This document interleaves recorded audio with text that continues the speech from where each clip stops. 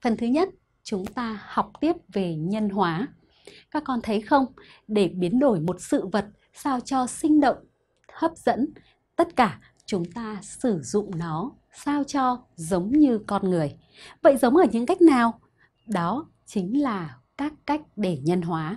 Vậy chúng ta cùng ôn lại nhân hóa là gì?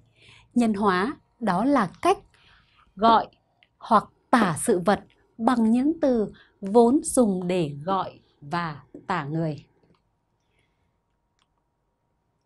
Cụ thể, các con đã được học về ba cách để nhân hóa. Đó là gọi vật như gọi con người.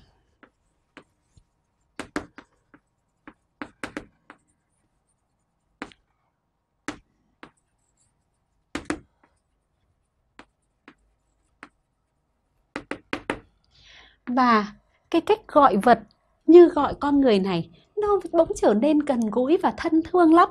Và thông qua đó con còn biểu thị được cả thái độ của con nhé đáng yêu ta gọi là bé. Ghét ta gọi là lão. Hay là ả à, đấy là cách mà các con có thể sử dụng và phân biệt. Con cũng có thể thể hiện sự trang trọng ví dụ như từ ông. Nào tiếp theo trong cách nhân hóa ta có thể tả sự vật bằng những từ ngữ vốn để gọi hoặc tả người.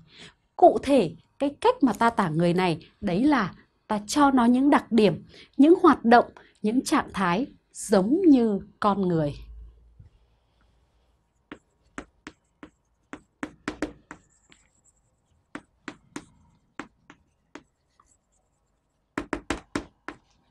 Vậy ta tả vật như tả người, cụ thể là ta sẽ nêu về đặc điểm. Tức là nó